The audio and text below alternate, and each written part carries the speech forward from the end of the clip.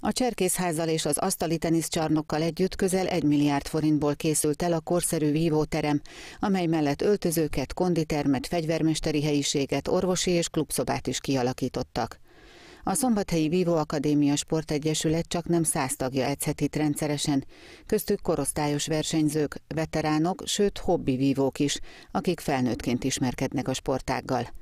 Korábban a Nagy Lajos Gimnázium tornatermét használták, ami után óriási váltás az itt kialakított 12 verseny és 6 gyakorlópást. Ott az idő nagy része azzal ment el, hogy felépítettük a pástot, és a vég, edzés vége, mivel jött a következő sportág, le kellett bontani a pástot. Ezzel rengeteg idő veszett el. Itt most a gyerekek a bemelegítés után egyszerre kihúzzák a földből a, a, a dobvezetéket, és bekötnek és vívhatnak, tehát gyakorlatilag időveszteség nélkül. Azon kívül pedig olyan profi a pásnak a, a felülete, hogy a vívás kifejezetten támogatja. Az ünnepélyes avatáson Nemény András polgármester megköszönte mindazok támogatását, akik a ciklusokon átívelő jó ügy mellé álltak. A Vívó Egyesület 2001-es újraalakulásától ennek a korszerű létesítménynek a megvalósításáig.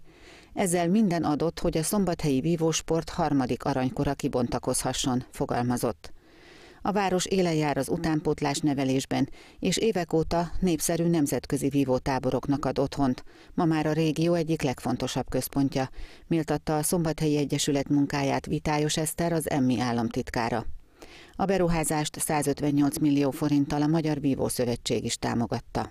Most, amikor az ember belép ebbe a, hát mondhatnám azt, hogy szuper környezetbe, és átnéz a túloldalra, és látja, hogy körülbelül abból a környezetből lett, tulajdonképpen a raktár környezetből lett egy ilyen patinás vívóterem itt a városnak. Én azt gondolom, hogy mindenféleképpen ez is azt mutatja, hogy Szombathely igenis az elmúlt időszakban fejlődött, a sport is erősödött, és én abban bízom, hogy a szombathelyi vívás is a jövőben erősödni fog. Hogy hogyan lett az egykori üzemcsarnokokból modern sportközpont, azt Gáspár Péter tervező mutatta be az érdeklődőknek versenyeznek.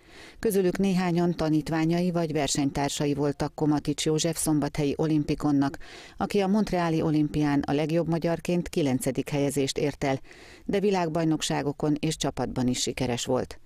A 2007-ben elhunyt törvívó máig a szombathelyi vívósport legeredményesebb képviselője, sokak példaképe.